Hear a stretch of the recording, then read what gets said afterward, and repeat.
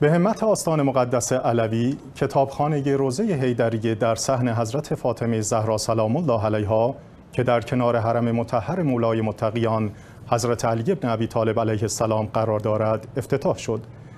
مراسم افتتاح این کتابخانه با حضور جمعی از مسئولان و مدیران این آستان مقدس و مقامهای سیاسی، دینی، اجتماعی و فرهنگی از شهر نجف اشرف برگزار شد. گفتنی است این کتابخانه عظیم حاوی صدها هزار کتاب در زمینه های مختلف است که از نقاط مختلف جهان گردآوری شده